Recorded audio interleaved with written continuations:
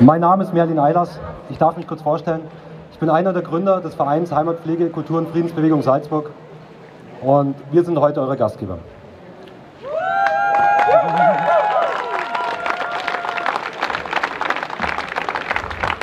Äh, laut behördlicher Anweisung müssen wir Folgendes hinweisen. Alle Personen, die nicht in einem gemeinsamen Haushalt leben, müssen bitte auf den Mindestabstand halten, äh, auf den Mindestabstand achten oder einen Mund- und Nasenschutz tragen. Dankeschön.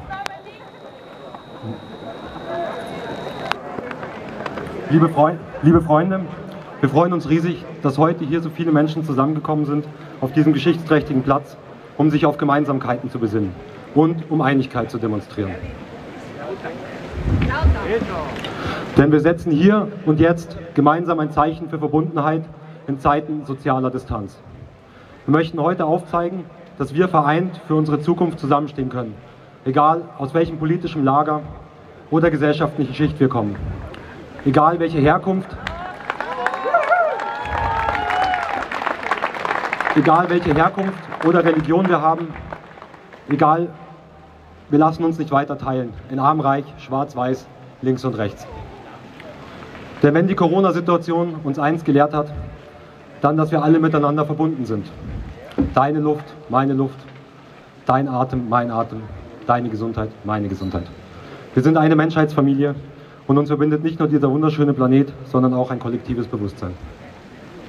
Als Kollektiv haben wir uns heute hier zusammengefunden, um ein Zeichen zu setzen für die Freiheit und für Eigenverantwortung.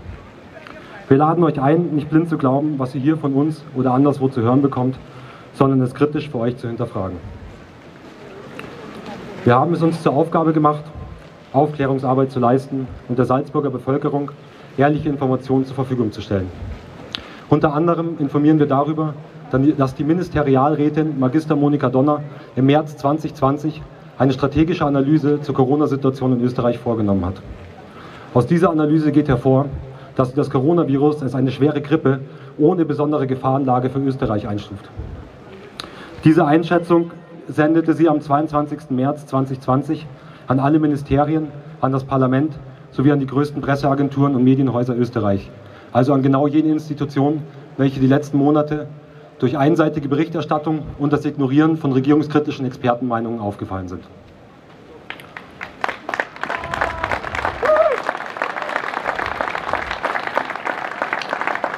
Hier am Residenzplatz wurden vor 82 Jahren systemkritische Meinungen durch das, und durch das NS-Regime als gefährlich eingestuftes Wissen von den Faschisten verbrannt. Heute werden namhafte Wissenschaftler ihre Arbeiten und daraus resultierende Daten sowie Kritik am Umgang mit der derzeitigen Situation im großen Umfang zensiert, im Internet verbannt und gesperrt.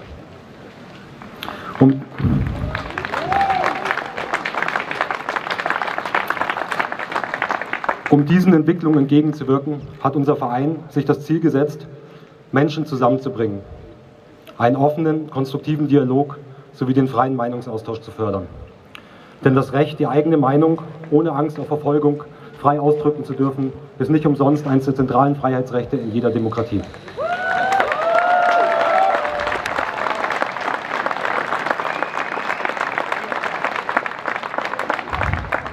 Eine Demokratie eine Demokratie lebt vom Dialog und Vielfalt.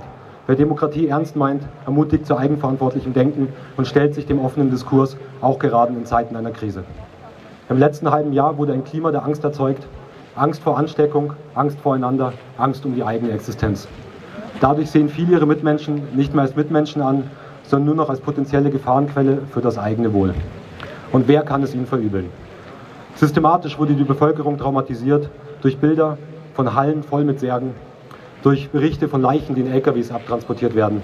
Das Szenario eines grausamen Erstickungstods plakativ vor den Augen. Wie sagte unser Kanzler, bald wird jeder von uns jemanden kennen, der am Corona gestorben ist. Wir laufen Gefahr, uns durch das trennen zu lassen, was uns alle verbindet, das Atmen. Atmen ist Leben und verbindet alle Lebewesen miteinander. Die Atmung ist unsere direkte Verbindung zueinander, Verbindung mit der Natur und Verbindung mit dem großen Ganzen. Ein und aus. Ein und aus.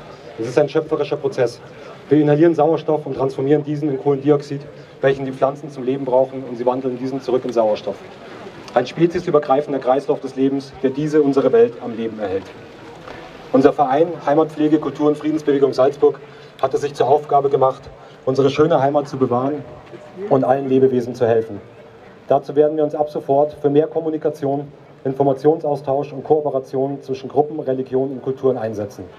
Dabei stehen eine respektvolle und achtsame Lebensweise, freie kulturelle Entfaltung, Eigenverantwortlichkeit sowie die aktive Erforschung von Friedensprozessen im Mittelpunkt unserer Bestrebungen. Denn unsere Welt ist das, was wir aus ihr machen. Lasst uns gemeinsam etwas Gutes daraus machen. Lasst uns.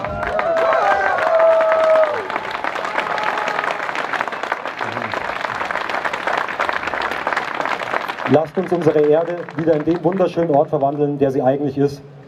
Lasst uns Freude, Kraft und Zusammenhalt verbreiten, denn davon, geht die Welt gerade, denn davon kann die Welt gerade eine extra Portion gebrauchen.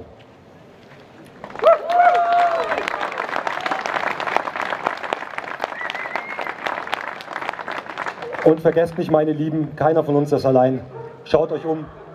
Wir sind das Volk und wir sind viele.